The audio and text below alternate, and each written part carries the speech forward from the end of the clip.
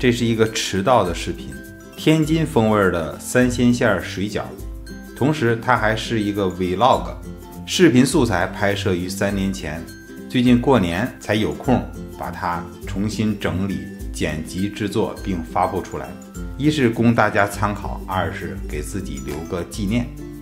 首先啊，这个肉馅儿要打花椒水，往干净的水里面放点花椒，煮花椒水晾凉了。然后把这个水打到肉里面，这样可以去腥。那这盆里边都有什么东西呢？一斤猪肉绞馅，甜面酱、葱花、酱油、蚝油、五香粉、生抽、葱末、姜末、韭菜、虾仁儿，还有炸的花椒油。虾也是一斤，虾去虾线，绞成段儿。然后关于这个和馅儿啊，我现在也看明白了，是分三个阶段。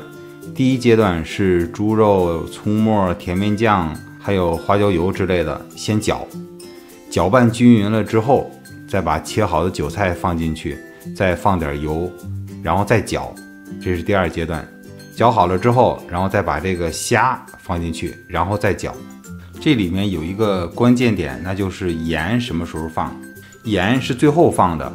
肉、葱 花搅拌均匀，放点老抽、生抽。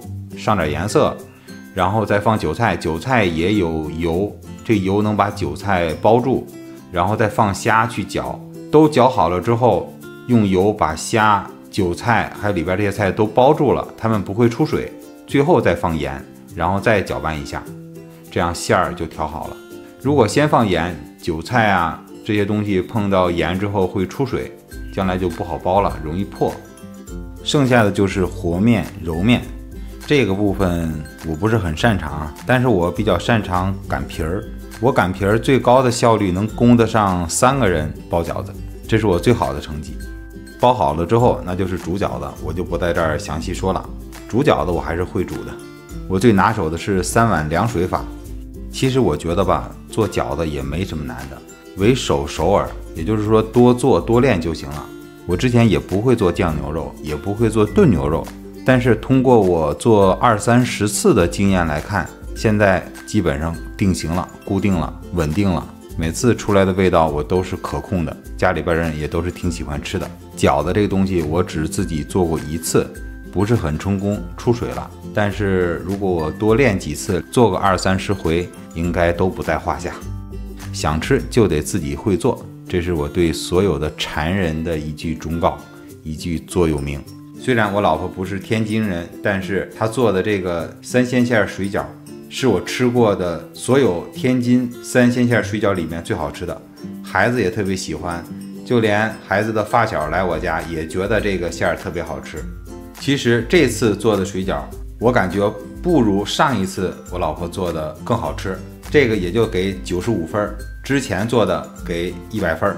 但是三年时间过去了，我老婆再也没做过。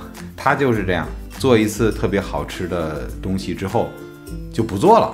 后来还做过几次羊肉香菜馅的水饺，也非常好吃，就吃过两回。我跟孩子都很爱吃，我妈也很喜欢吃。我妈从来不吃羊肉，也特别喜欢吃他做的那个羊肉馅水饺，说是一点膻气味都没有。后来人家也不做了，这是什么性格？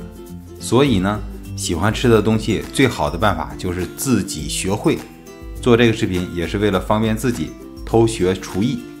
我刚才看到这段视频素材，孩子在玩我的 PS 四，那时候我还没有 PS 五，他玩的是《最终幻想七》的重置版。现在呢，《最终幻想七》重置版的第二章重生已经有了。当时素材是二零二一年四月份拍摄的，很快就要三年了。最后我再说说，拍视频用的不是手机，是微单松下 G 八五。镜头是奥林巴斯的二四八零 f 二点八，现在这套设备早就出掉了。当时买这个相机主要是为了拍 vlog，好像也只拍了这么一个 vlog，后来被我断舍离出掉了。